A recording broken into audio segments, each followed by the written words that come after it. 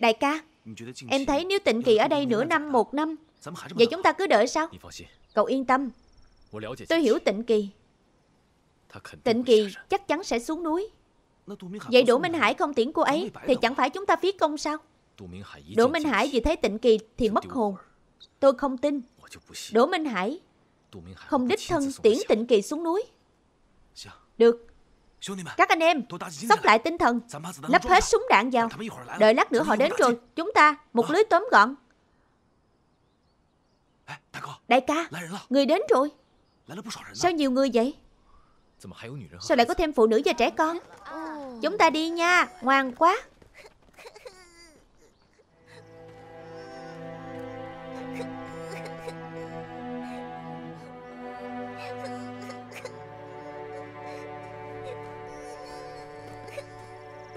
Đại ca Có đánh không? Không đánh. Họ quay về sân trại thì phiền phức đó Không thể đánh. Đợi tịnh kỳ an toàn. Ra khỏi phạm vi rồi chúng ta đánh.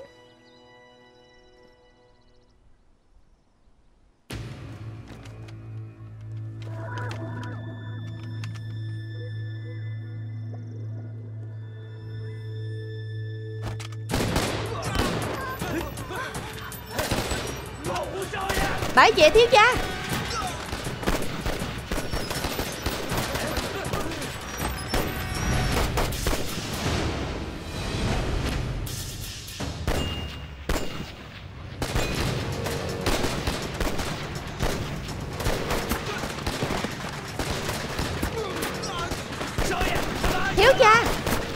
Họ an toàn rồi Rút Rút đi. Sao lại có tiếng súng vậy? Không phải cô dẫn đến chứ. Nào. Tĩnh Kỳ Trông chừng đứa bé Tĩnh Kỳ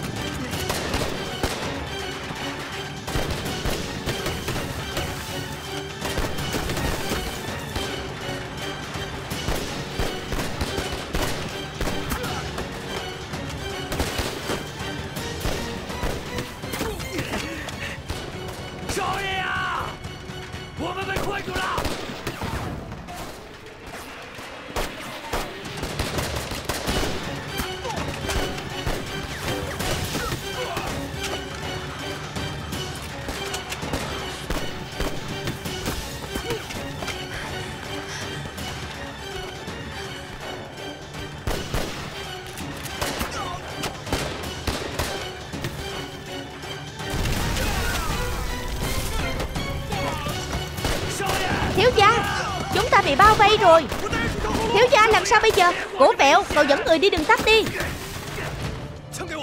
Đưa súng cho tôi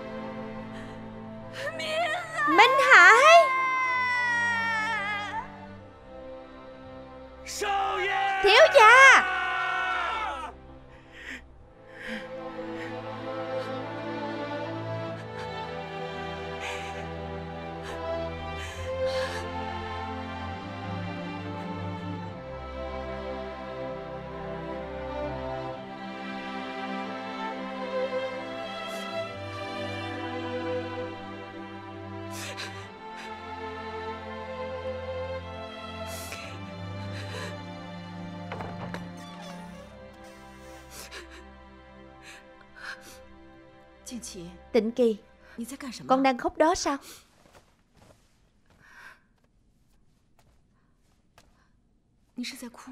Con đang khóc hả? Mẹ không sao. Bụi bay vào mắt thôi. Không sao đâu. Vậy sao con lại khóc? Có phải Minh Hải xảy ra chuyện gì rồi không? Con nói thật cho mẹ biết đi có phải Minh Hải xảy ra chuyện gì rồi không? Con nói đi. Nói đi mà. Có phải Minh Hải xảy ra chuyện gì rồi không? Mẹ, Đều là con không tốt. Lần trước, Minh Hải vì cứu con, Làm thủ lĩnh thổ phỉ. Lần này, Khi con đưa đứa bé đến gặp anh ấy, Không ngờ Mã Trí Viễn Lại đột nhiên xuất hiện. Bọn họ xảy ra bắn nhau. Cuối cùng Minh Hải. Cuối cùng Minh Hải. Minh Hải làm sao? Hả? Minh Hải làm sao? Minh Hải anh ấy.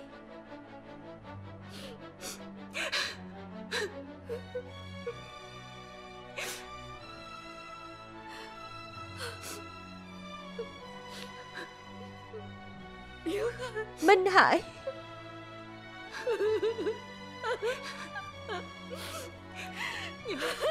Mẹ. Mẹ ơi.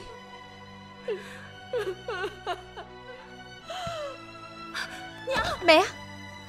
Mẹ. Mẹ tỉnh lại đi. Mẹ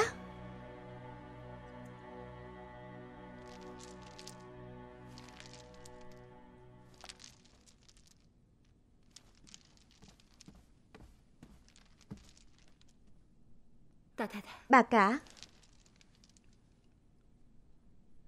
Bà hai đâu rồi? Bà hai đã có thể ăn ít cháo rồi. Chỉ có điều lần này bệnh cũ tái phát nghiêm trọng. E rằng không gắn ngược được lâu. Cô ấy đâu? Mà cả vốn dĩ không có chuyện gì. Chỉ là thương tâm quá độ, Có hơi yếu ớt. Đỗ Phủ bây giờ già yếu bệnh tật.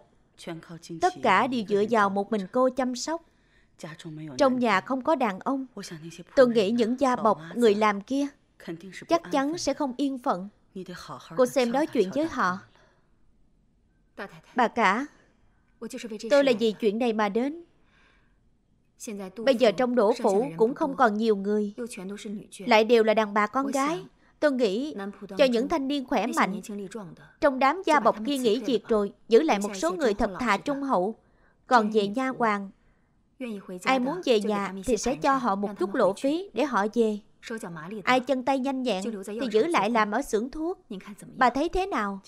Tịnh kỳ Chuyện trong nhà cô cứ xem mà làm Chuyện gì cũng cứ cân nhắc rồi làm Không cần báo cáo với tôi nữa Vì cô là đại quản gia của Đỗ Gia Tôi chỉ cần căn phòng Yên tĩnh niệm Phật là đủ rồi Dân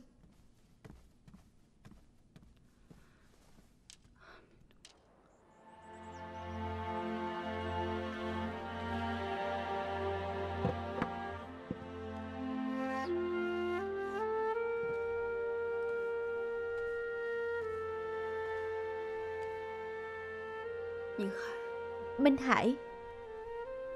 Người ta nói người mất. Bảy ngày sẽ về thăm nhà. Hôm nay là đầy tuần của anh. Có thể về thăm em không?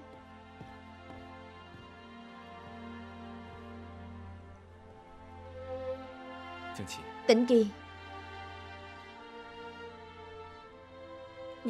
Anh đến đây làm gì? Đỗ gia không chào đón anh. Anh biết Em vì chuyện của Đỗ Minh Hải Mà quán giận anh. Nhưng là do anh ta chọn làm thổ phỉ. Anh phải giết anh ta. Tôi thật không ngờ Anh lại lợi dụng tôi để giết Minh Hải. Đây cũng là anh bất đắc chỉ mà thôi.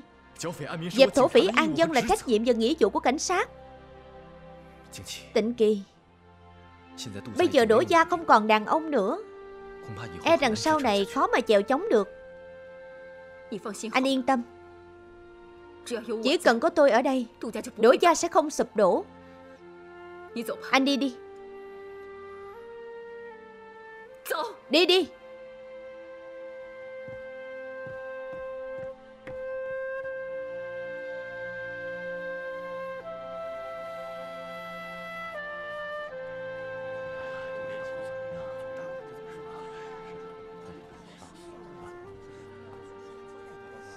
Đến đủ chưa vậy Đủ rồi.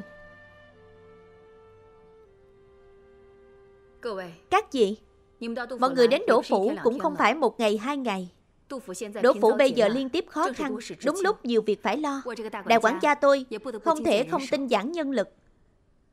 Những ai muốn về nhà Mấy ngày trước tôi đã gửi lộ phí Để họ có thể về. Những người nào ở lại Đều đồng lòng đồng tam cộng khổ với đổ gia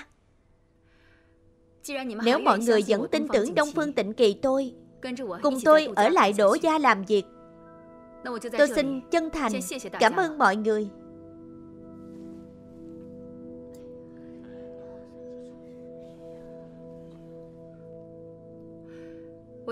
Bây giờ tôi sẽ sắp xếp lại công việc cho mọi người. Sau này ít người rồi Thì mọi người cũng phải làm việc nhiều hơn. Mọi người cứ yên tâm. Tôi đồng ý phát lương theo tháng cho mọi người Lễ Tết sẽ lì xì cho mọi người. Sau này mọi người ai làm việc người đó Có việc gì thì báo với chủ quản của mình trước.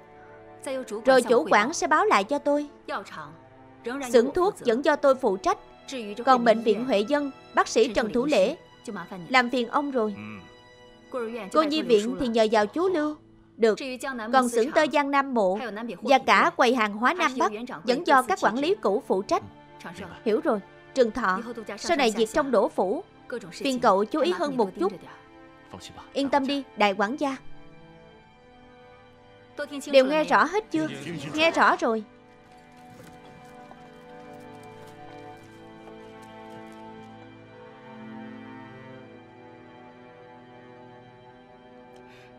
Như thế này có thoải mái hơn không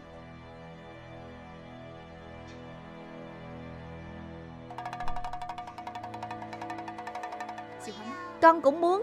Thích không? Nào, há miệng ra.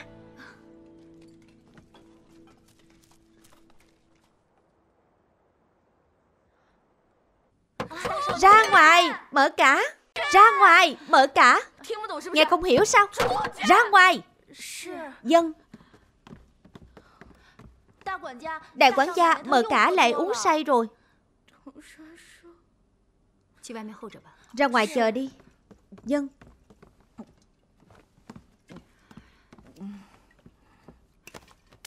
Đừng uống nữa. Đừng động vào rượu của tôi. Đưa đây. Đừng động vào rượu của tôi. Sao cô dám động vào rượu của tôi chứ? Đây là rượu của Minh Hải. Là rượu của chúng tôi. Sao cô dám cướp rượu của tôi? Còn uống nhiều nữa Minh Hải không về đâu. Đưa cho tôi. Không uống thì tôi phải làm sao đây? Không uống Thì tôi làm được gì bây giờ chứ? Ngày nào cũng mở mắt ra rồi nhắm mắt. Tôi cũng thấy anh ấy Ngày nào tôi cũng nhớ anh ấy. Đi ra ngoài mặc kệ tôi. Cô dám làm mọi thứ vì anh ấy. Vậy mà giờ không có dũng cảm để sống tiếp sao? Lúc nào cũng nói yêu anh ấy. Đây là cách cô yêu anh ấy sao? Cô uống say như chết. Nếu thấy cô thế này, anh ấy sẽ vui sao? Đông Phương Tịnh Kỳ, Tôi tưởng cô yêu anh ấy giống tôi nhưng tôi phát hiện ra tôi nghĩ sai rồi. Cô vốn không yêu anh ấy. Cô không xứng với tình yêu của Minh Hải. Sao lòng dạ của cô sắt đá vậy? Cô đúng là có lòng dạ sắt đá mà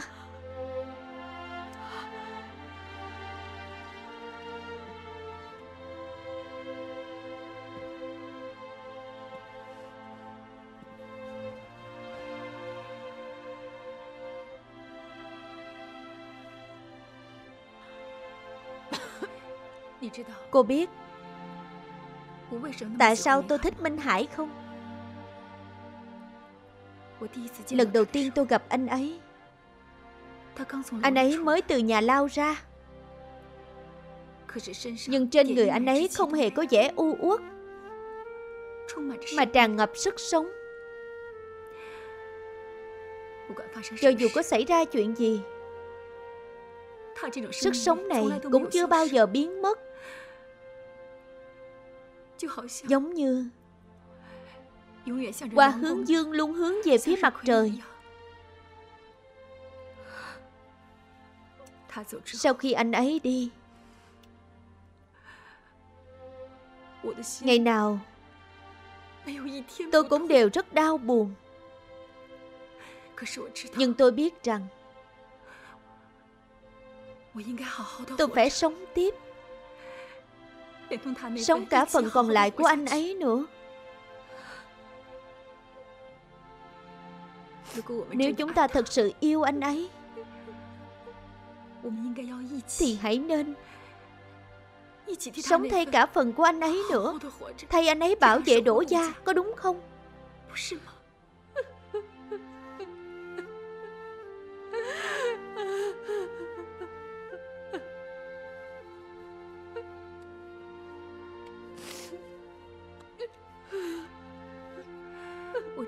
Tôi biết cô đau buồn.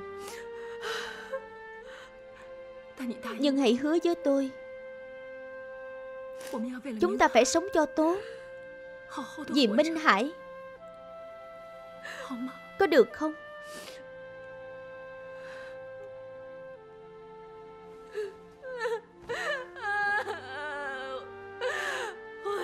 Tim tôi rất đau. Tôi nhớ Minh Hải Tôi rất nhớ anh ấy. Tôi biết. Tôi biết mà. Tôi biết. Tôi biết mà.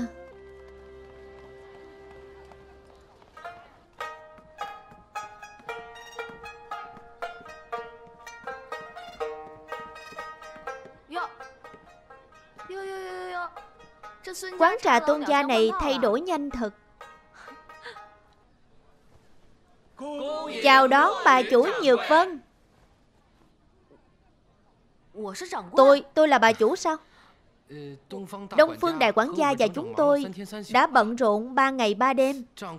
Cô là bà chủ mà không biết sao? Vậy là sao chứ? Sao tôi Không ngờ? Cô muốn làm tôi bất ngờ Bằng một quán trà nhỏ nhỏ này sao? Không phải là bất ngờ mà là mời làm. Bây giờ tôi đại diện cho Đỗ Gia Mời mợ cả trở thành bà chủ của quán trà Đỗ Gia Thế nào, cô có muốn hay không?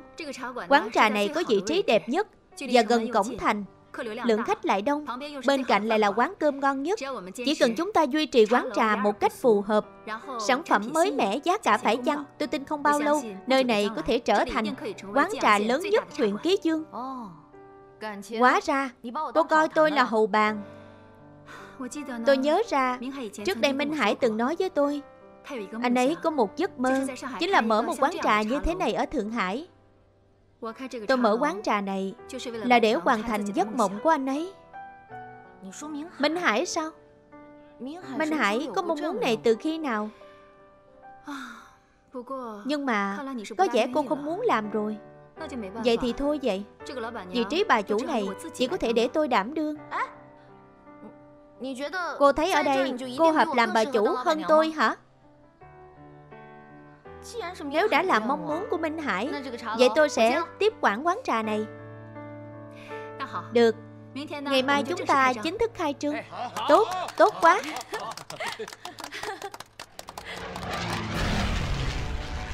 Quân Nhật xâm chiếm khu Tiêu Sơn.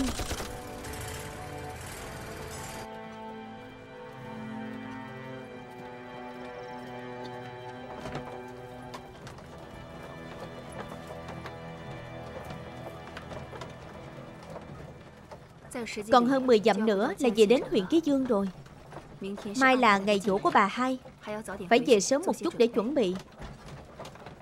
Đúng vậy. Lần này ra ngoài không hề dễ dàng gì. Nghe nói người Nhật đánh đến nơi rồi. Lẽ nào chúng ta chỉ là con cúng không cắn lại chứ? Nếu chiến tranh thực sự nổ ra Vậy thì phiền phức lắm rồi.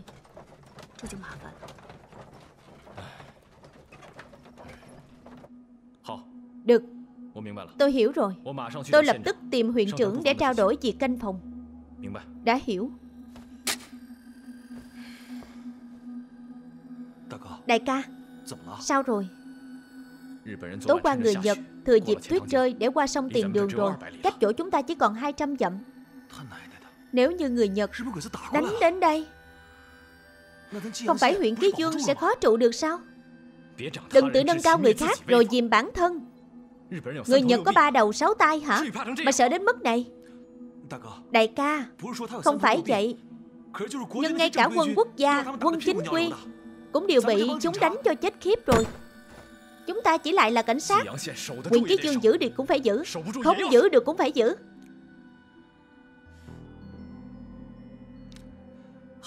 Rõ. Đại ca Nếu anh đã quyết tâm muốn đánh giặc ngoại xâm Thì Phùng Thiết Đầu em Nhất định là người đầu tiên xông lên Lập tức tập hợp các anh em lại。Theo ý của đoàn 206 thuộc quân quốc gia Quyện chúng ta không đóng quân Phải tạo nhóm cảnh sát và dân quân Sau đó họ sẽ chi viện cho chúng ta Rõ。Tôi lập tức tìm quyện trưởng để trao đổi việc canh phòng Em sẽ tập hợp anh em lại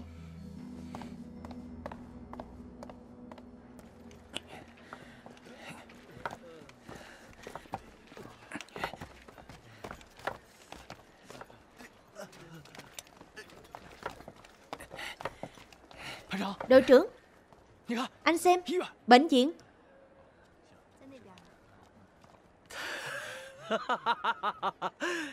Cuối cùng cũng tìm được bệnh viện rồi. Đi Tiếp quản bệnh viện mau. Đi Nhanh lên.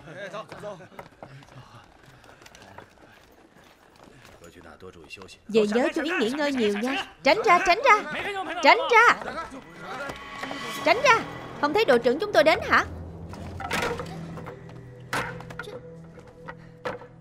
Mau Xem cái chân cho ta.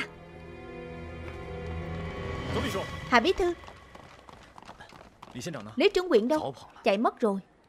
Bây giờ nói không chừng đã chạy ra ngoài thành chúng ta rồi. Chạy rồi sao? Ừ Vừa nghe tin người Nhật đánh đến đây Ngay cả con dấu của mình Lý quyện trưởng cũng không cần. Còn nói là không thể vì chén cơm Mà không nghĩ đến việc kiếm cơm. Lý Trung Lương này là đồ khốn Mã sở trưởng Con dấu này giao lại cho anh bảo quản. Không có chuyện gì thì tôi đi trước nha. Đi đi. Sao? Rồi? Dùng ít thuốc tê của mấy người. Mà cũng không được hả? Mạng của ông đây. Còn đáng giá hơn thuốc tê của mấy người đó. Anh không nói lý lẽ chút nào. Bây giờ chiến tranh khắp nơi. Rất nhiều con đường đều bị chặt đứt rồi. Dược phẩm cần thiết của chúng tôi. Vốn không được vận chuyển đến đây. Bịa ra hả Tôi lệnh cho ông. Lập tức. Lập tức. Lấy thuốc tê cho tôi. Nếu không Tôi sẽ phá tan cái bệnh viện này. Đúng. Phá tan cái bệnh viện của mấy người ra. Người đến phòng thu chi. Tịch thu tất cả tiền lại. Anh em Đi theo tôi.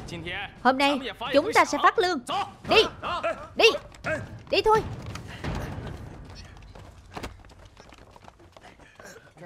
Chỗ này thiếu một cái. Nào. Nào. Các anh em Chỉ cần nâng bao tải này lên 1cm Là có thể bảo vệ được đầu của các cậu rồi. Nâng lên. Bên kia cũng nâng lên. Tĩnh Kỳ. Tĩnh Kỳ. Em không phải giúp nữa. Về nghỉ ngơi đi. Không sao. Em làm được. Đúng rồi. Em có chuyện trao đổi với anh Em cứ nói Em muốn làm một trạm cứu hộ tạm thời Ở dưới cửa thành. Anh thấy có được không? Được chứ. Được. Đại quản gia Đại quản gia dừng đường chút. Không ổn rồi Bệnh viện có chuyện rồi. Sao vậy? Có một đám thương binh đến đó Muốn lấy thuốc tê. Nếu không có thuốc tê sẽ đập tan bệnh viện ra. Sao đám thương binh này lại gây sự chứ. Để anh qua đó. Lẽ nào không trị được họ Chí viễn Chuyện ở đây quan trọng hơn. Anh nên ở lại bảo vệ thành Để em xem xử lý Được Chú ý an toàn ở đó. Đi. Đi. Nào. Bệnh viện lớn thế này Mà lại nói không có thuốc tê. Lát tìm ra rồi. Tôi cho ông biết tay Tôi nói không có là không có. Vẫn còn cứng miệng hả? Lát nữa tìm được. Xem tôi xử lý ông thế nào. Đội trưởng Không tìm thấy thuốc tê. Nhưng tìm được Một có hòm tiền Tiền hả? Được. Mau Phát quân lương cho anh em nhanh đi. Đừng đừng đừng. Không được động vào số tiền này. Cút ra. Các anh em Phát lương. Dừng tay. Mấy người đang làm cái gì vậy? Bệnh viện này là nơi chữa bệnh Không phải là nơi gây sự. Ngươi là ai? Đừng ở đây xen vào việc của người khác. Người Nhật sắp đánh vào đây rồi. Mấy người không đi kháng Nhật. Mãi đây cướp đồ từ người của mình sao? Mấy người là kiểu đàn ông gì vậy Đừng có phí lời. Ông bán mạng thay cho các ngươi trên chiến trường, Bị thương đến đây chữa trị, Nhưng các ngươi lại nói là không có thuốc tê. Bác sĩ Trần, Xảy ra chuyện gì vậy? Đại quản gia, Không phải là tôi không chữa bệnh, Mà bệnh viện quá thật không có thuốc tê. Nhưng chân anh ta cần phải phẫu thuật ngay, Nếu không sẽ mất mạng.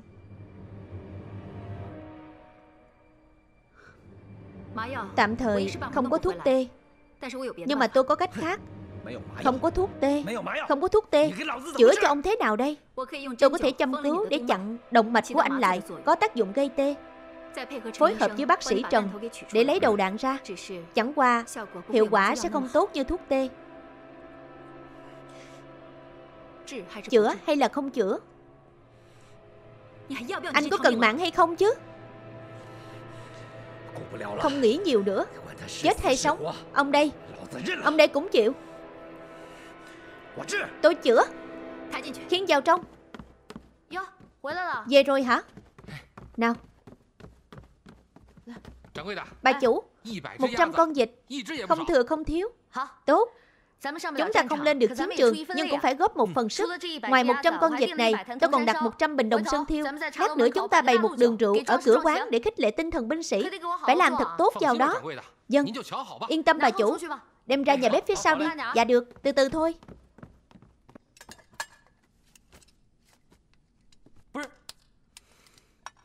Không phải chứ, thế này được không vậy?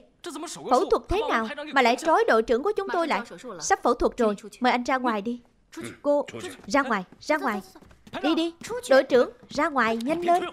Đừng đẩy tôi.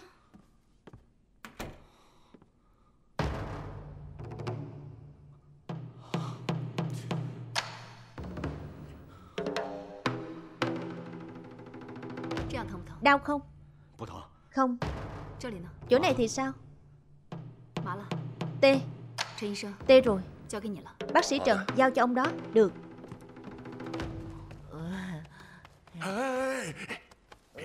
Đừng có ăn nữa Cái này để cho quân đội Con đói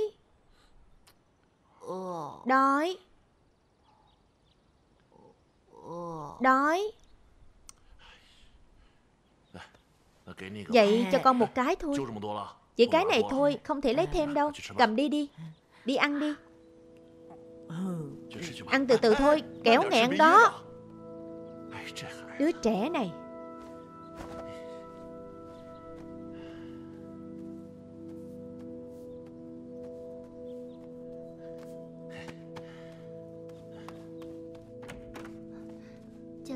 Vào đi Đội trưởng. Bác sĩ Trần Kê cho anh ta chút thuốc giảm đau. Được, không vấn đề. Đại quản gia Không thể cảm tạ hết.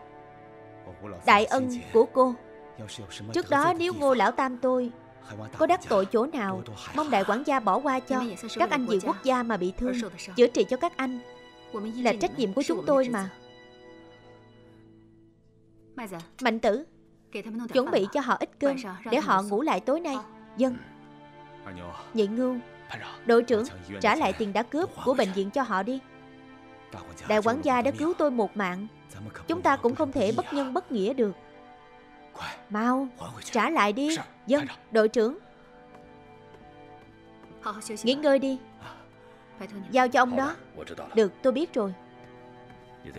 Kiểm tra lại cho anh ta đi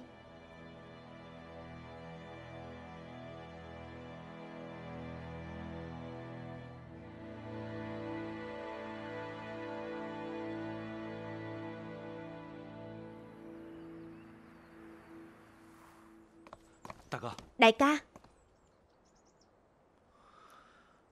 Sao quân chi diện vẫn chưa đến? Sao không có động tĩnh gì vậy?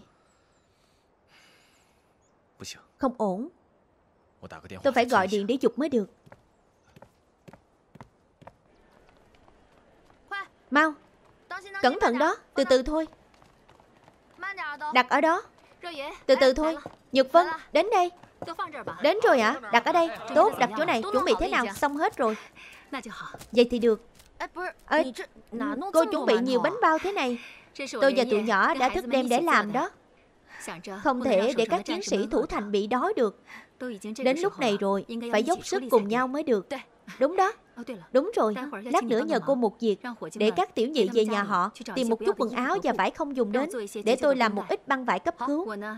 Tôi muốn lắp một trạm cứu hộ khẩn cấp Ở cổng thành. Như vậy mới có thể cứu viện kịp thời Nhưng mà bây giờ vật tư lại thiếu Nên lát nữa nhờ cô giúp một tay. Khẩn cấp Cô muốn ra tiền tuyến sao Không được đâu, nguy hiểm lắm. Phụ nữ như cô có thể làm được gì? Quốc nặng trước mắt, mọi người cần phải dốc sức. Tôi là bác sĩ, tôi cứu người chứ làm gì nữa.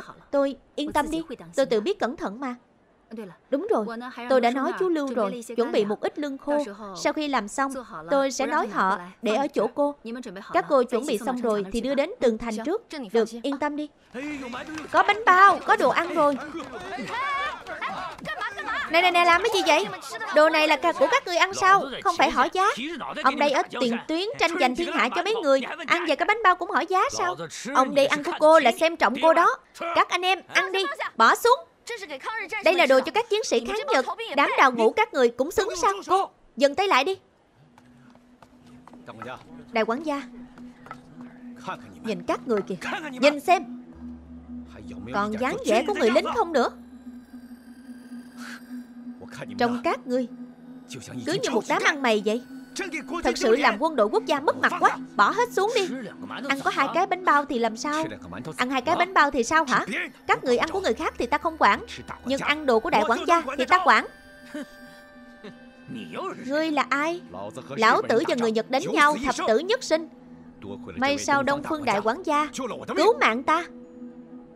Giờ cũng chỉ có cô ấy mới giúp thương binh chúng ta trở lại thành người được thôi Nếu chân ta không bị thương Trở thành tàn phế Ở lại đây như gánh nặng Ta sẽ cho Đông Phương Đại quản gia Đi giữ thành. Người nói thì dễ lắm. Đội ngũ bị đánh tan rồi. Cấp trên, người chết, người bị thương. Ngay cả quân lương cũng không có. Ai muốn ở lại đây bán mạng hả? Đúng vậy. Chúng tôi có thể không ăn bánh bao. Nhưng ông đây Phải giữ cái mạng này để về báo hiếu mẹ già chứ. Các anh em, đi thôi. Đi. Chờ chút. Các anh cầm lấy bánh bao này đi. Các anh có thể về nhà. Các anh cũng vì quốc gia mà đấu tranh đổ máu. Lấy bánh bao để ăn dọc đường đi. Nhược Vân, vào trong lấy vịt quay ra đây. Chia cho các anh em đi. Cô hào phóng như vậy. Chứ tôi thì không. Dịch quay là để cho các chiến sĩ kháng Nhật Đám đầu ngủ này sao xứng? Cô nghe lời tôi, đi đi. Không nghe thấy sao, lấy dịch ra đây. Dân. Ở đây tôi còn ít đồng bạc. Ngô đội trưởng Chia cho các anh em đi. Để mọi người mua ít đồ ăn dọc đường Không bị đói. Đông Phương Đại Quản gia. Ngô lão tam tôi cảm thấy hổ thẹn. Đội trưởng Ngô Tôi cũng chỉ có thể giúp được như vậy. Trước khi quân Nhật chưa đến Các người mau đi đi. Chờ chút. Không ai được đi. Bác sĩ Trần. Sao vậy? Tối qua Trong số họ có hai người Làm chuyện xấu với Bạch Tử. Sáng nay Bạch Tử thức dậy đã muốn tìm đến cái chết. Mãi mới có thể ngăn cô ấy lại. Sao Lũ vô ân các người. Tỉnh kỳ tặng thuốc chữa bệnh cho các ngươi. Còn cho phí đường đi, cho đồ ăn. Ngược lại các người lại vong ân phụ nghĩa, Gây tai họa cho cô nương người ta. Các người có thể ra khỏi thành Cũng có thể không chiến đấu về nhà. Nhưng nếu các người muốn hại cô nương đó, Thì không bước qua được Đông Phương Tịnh Kỳ tôi đâu. Tôi sẽ không tha cho các người. Năm đó, Em gái của tôi bị người ta hại. Cuối cùng thắt cổ tự tử chết. Hôm nay tôi phải điều tra rõ Xem xem ai không quản được đúng quân của mình. Bước ra cho tôi. Đừng để mọi người xấu hổ khi đi cùng với các ngươi. Nói. Mau. Là ai bước ra đi? Quá thất đức rồi. Đúng vậy. Ai làm người đó chịu? Làm ra việc tàn nhẫn thế này Các người nhìn ta làm gì? Tôi là người có vợ rồi đó Ai làm? Bước ra đây đi. Đừng để mọi người ở đây chịu tiếng xấu cho mình. Các người biết tính của tôi rồi. Mau bước ra cho tôi. Đừng để mọi người mất mặt. Ta đếm đến ba. Nếu người này vẫn không bước ra, Đừng trách ta trở mặt với các ngươi. Có nghe rõ không? Ta sẽ không để mặt các ngươi đâu.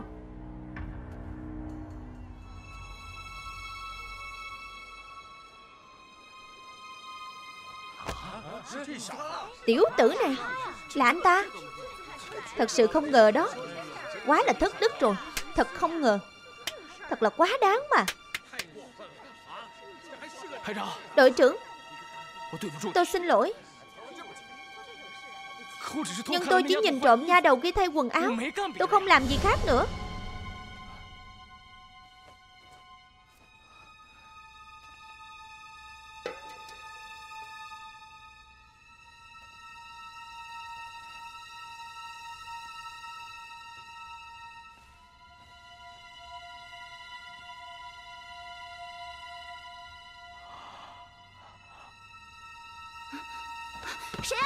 Vậy? Chưa làm gì khác Thì sao mạch tử lại muốn chết? Nhân lúc trời tối Tôi Đừng lên tiếng. Tảo tử đánh chết ngươi.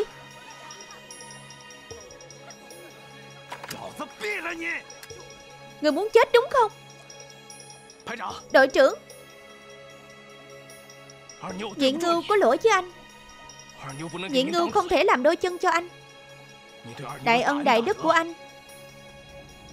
Kiếp sau nhị ngưu sẽ báo đáp.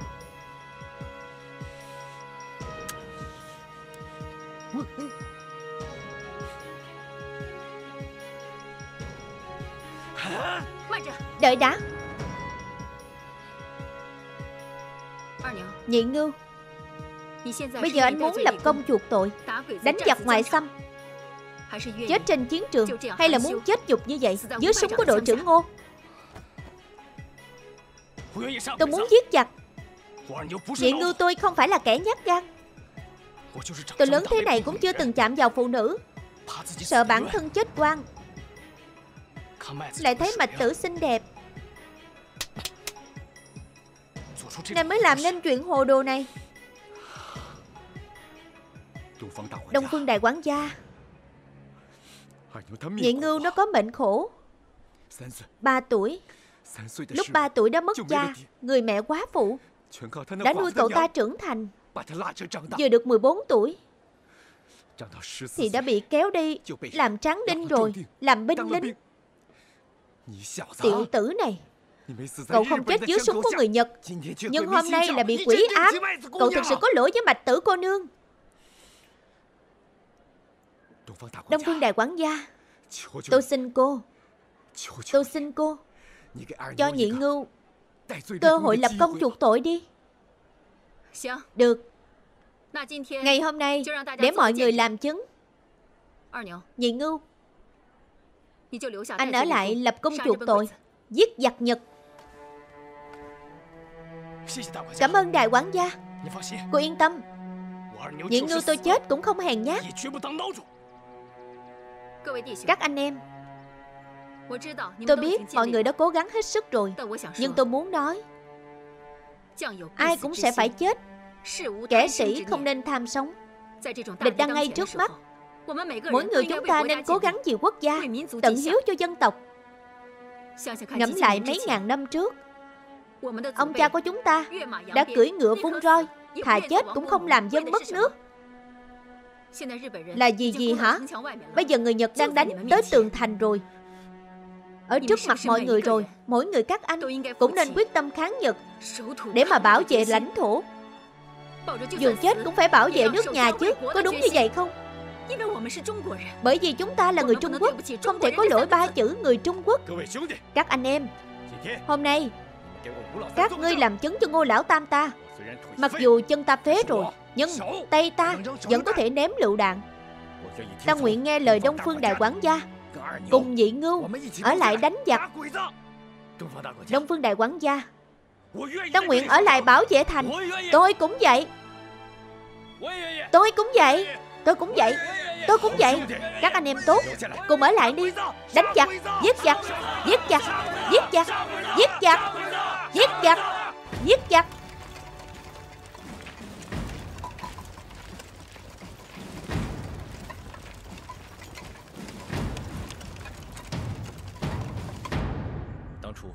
Lúc trước, chúng tôi tiếp quản quyền khí dương, có một đống mìn. Hiện tại, tôi đã chôn trong rừng cây, làm phòng tuyến thứ nhất. Bây giờ ngoài thành đã sắp xong rồi. Đội trưởng Ngô, chỉ huy thương binh và dân đoàn, làm phòng tuyến thứ hai. Chúng ta, ở đây chỉ huy dân đoàn và cảnh sát, làm phòng tuyến thứ ba. Nhưng mà bây giờ, vẫn chưa xác định người Nhật có bao nhiêu quân số. Nếu chỉ có một đại đội, Chúng ta vẫn có thể phòng ngự. Báo cáo. Vừa mới nhận được điện thoại Nói Đại đội Đông Bạch Sơn của Tân Tứ Quân đã đánh úp đại đội quân nhu quân dụng của Nhật đánh rất là dữ dội, hy sinh không ít chiến sĩ. Lý đại đội trưởng của họ cũng hy sinh. Tiếp tục đi. Họ bị quân Nhật kẹp chặt, nói cho chúng ta biết một tin tức. Tù binh của đại đội quân nhu Nhật nói, quân Nhật tấn công huyện Ký Dương có thể là đại đội đầu tiên của liên đội Akita. Giữ liên lạc liên tục. Rõ. Đại ca, Một liên đội có bao nhiêu người? Liên đội là binh lực của một đoàn. Cho dù là một đại đội, Cũng đủ khiến chúng ta chật vật. Nhưng mà không phải sợ. Bất cứ lúc nào, Đoàn 206 cũng có thể trợ giúp chúng ta. Rõ.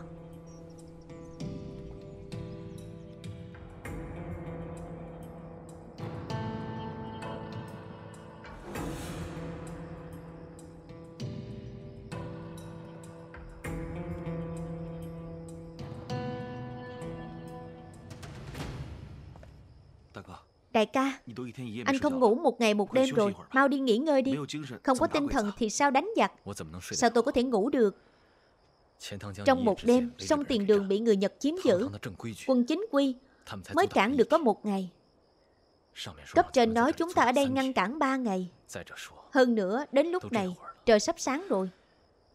Nhưng mà đoàn 206 vẫn chưa kịp đến. Thì tôi làm sao mà ngủ được? Báo cáo sở trưởng Nói. Đoàn 206 điện tới Họ nói gì? Trên đường tiếp viện khẩn cấp, đoàn 206 gặp quân Nhật đang chiến đấu với chúng, không thể đến Ký Dương ngay được, nên muốn chúng ta giữ vững thành Ký Dương 3 ngày. Cấp trên nói rồi, không thể buông tha cho quân Nhật. Duy trì liên lạc với đoàn 206. Đi mau, dân. Đại ca, Viện binh không thể đến ngay được. Chúng ta phải vạch kế hoạch thôi Mới có thể giữ vững trong 3 ngày. Nói thì dễ. Làm thì khó. Quyện Ký Dương là đường nhất định phải qua đến phía đông. Bây giờ tình thế bắt buộc. Nếu mà chúng ta không giữ được huyện Ký Dương Thì toàn bộ tỉnh Chiết Giang Sẽ sụp đổ. Các anh em nghe rõ đây. Vũ khí trong tay chúng ta. Dùng để giết quân Nhật hoặc sẽ giết người. Hoặc sẽ hy sinh vì nghĩa lớn. Mọi người phải sốc lại tinh thần. Diệt giặc Nhật. Cố thủ ký dương. Diệt giặc Nhật. Cố thủ ký dương. Diệt giặc Nhật. Cố thủ ký dương. Diệt giặc Nhật.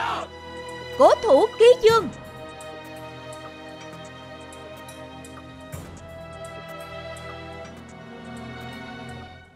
Trí Viễn. Tĩnh Kỳ Đoàn 206 chưa đến được. Quân số của anh không chống đỡ được vài canh giờ. Em đưa thương binh và trẻ nhỏ rút lui đi. Anh sẽ ở lại giữ chân chúng. Còn ngay ra đó làm gì? Mau đi đi. Băng gạc chỗ này còn nhiều. Lấy dùng đi nha. Được. Nếu không sẽ không đủ dùng. Cô qua đây. Giúp tôi cắt vải bố này Thành băng vải Nếu không sẽ không đủ. Giao cho cô đó. Nè, để tôi cắt. Nào, được. Tiểu Phong qua đây giúp tôi. Sắp xếp lại hòm thuốc đi. Kiểm tra lại đồ trong đó. Định kỳ tôi biết rồi. Thuốc ở đây quá ít Không đủ dùng. Mau đưa cho tụi nhỏ và thương binh đi trước Chỗ này còn gì thì đem qua đó đi. Nên để lâu. Rõ chưa? Rõ rồi. Qua đây giúp tôi. Được. Dỡ cái này thành cán cứu thương. Dân Tìm vài mảnh gỗ cho tôi. Còn nữa Dùng mảnh này làm cán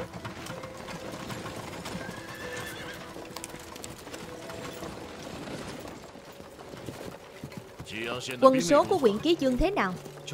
Đại tá Akita Huyện Ký Dương không có quân đội chính quy. Huyện trưởng cũng bỏ thành chạy rồi. Đoàn 206 của quân quốc gia Tiếp viện huyện Ký Dương Bị liên đội Honda và Araki chúng ta Kèm kẹp gắt gao. Quân số của liên đội Akita Rất là khá đông. Xem ra có thể chiếm được quyện dễ dàng rồi. Trước khi trời tối Sẽ vào thành nghỉ ngơi. Rõ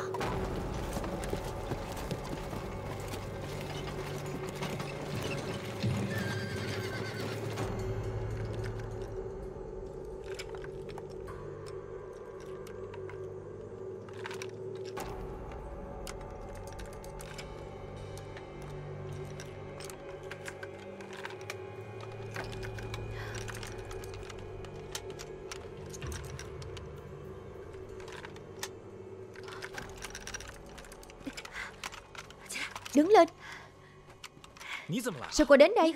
Anh quên rồi sao? Chị đây có thể làm giặt cỏ. Nếu lúc này không đến Sao có thể xứng với cây súng này của tôi? Được. Đến thì cũng đến rồi. Nhưng cô phải nghe lệnh của tôi. Hiểu chưa? Được rồi yên tâm. Chắc chắn sẽ nghe lời. Tuyệt đối không gây rắc rối đâu.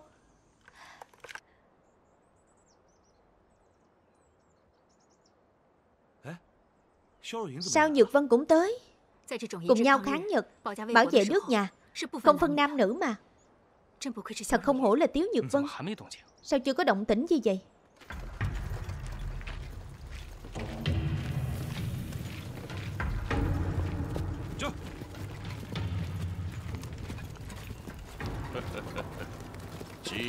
Huyện Ký Dương. Dễ như trở bàn tay. Toàn quân tiến lên. Rõ. Toàn quân tiến lên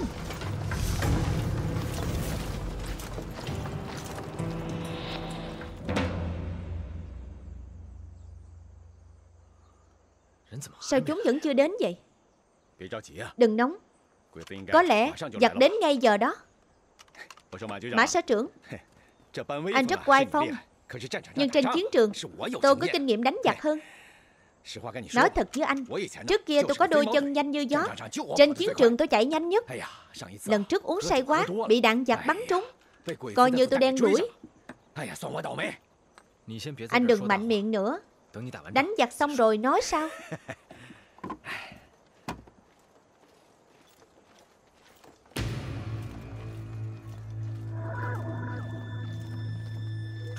Cuối cùng cũng đến rồi. Mọi người sẵn sàng nhé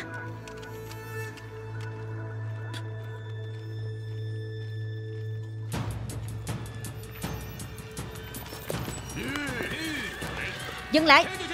Dừng bước.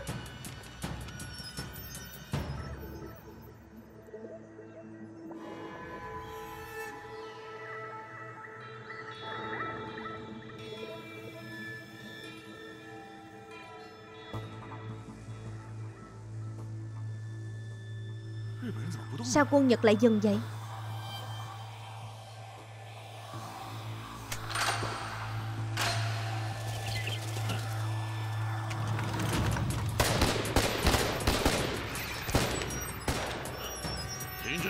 Dừng bắn đi.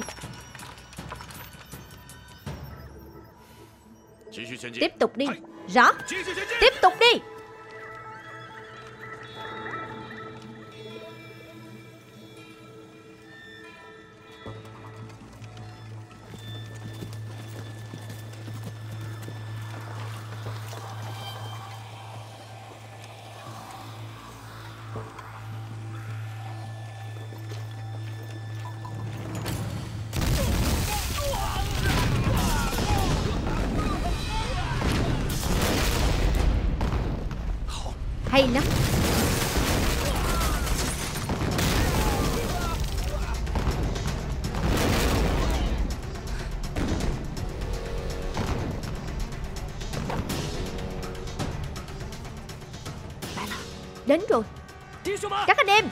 Chuẩn bị chiến đấu. Rõ. Phong thiết đầu, Ở đây giao cho anh. Tôi đưa vài người đến chỗ phòng thủ kia Trợ giúp cho tuyến đầu. Chú ý an toàn. Bắn cho tôi.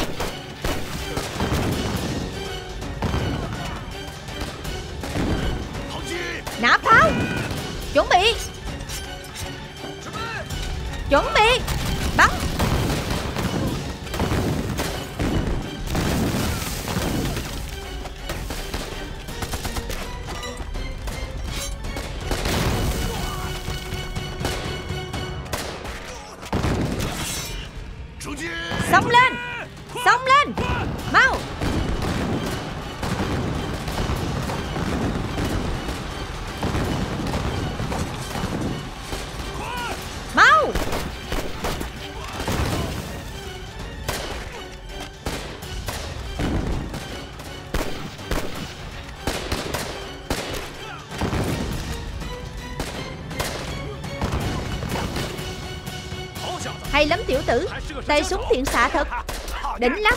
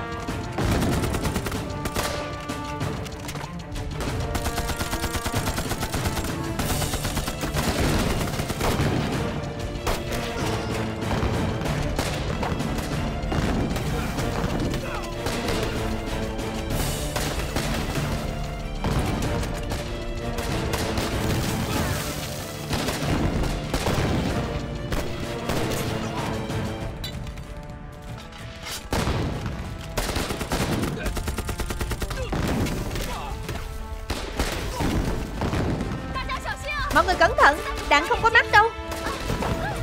Cẩn thận đó. Biết rồi. Bác sĩ Trần ông qua đó đi. Được, Cẩn thận nha, Cẩn thận. Được rồi, Kiên trì lên. Cán cứu thương Cán cứu thương. Cán cứu thương. Nhanh lên. Cố lên, kiên trì một chút. Cố lên, Chúng tôi sẽ cứu anh. Nào. Giết. Nhất định phải chiếm được quyển khí chương.